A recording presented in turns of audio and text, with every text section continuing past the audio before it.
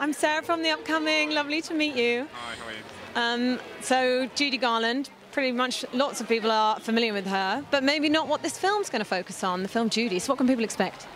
Well, a bit of the end of her life and career, and a bit of the beginning of the life and her career, and maybe how those two things relate to each other. Uh, yeah, it's a study about somebody who's known for being, you know, uh, maybe the most famous child actor of all time, and then maybe how she didn't have a childhood, and then what that impacted on the way she was as a mother, and how she wanted to, you know, be a mother to children in a way that she felt she hadn't had. And Renee Zellweger gives, well, I think it's been said, an awards worthy performance. She really becomes Judy. So, what was it like working with her and getting her into this role? And what do you think of her performance? I think it's unbelievable performance. I mean, you know, I always knew it was going to be good, and we were rehearsing. And then the first first time I called action on the first scene, I thought, wow, something's really happening here. And you know, I've been around enough actors to know when it's when it's real.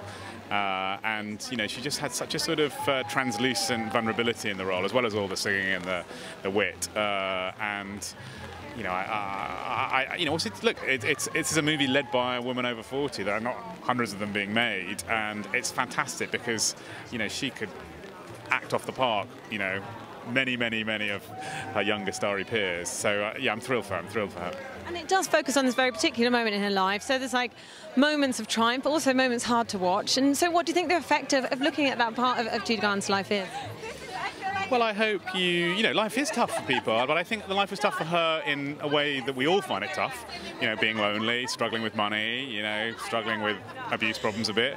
And then it was tough in a way that we could never even begin to understand about celebrity and being an artist. And so I hope you, I hope one set of troubles are very near and one is sort of further away, but, but also how through it, you know, her spirit and her sense of humour and her rebellious sort of never say die attitude kind of comes through as well. Do you think things have changed for people in Hollywood, particularly women?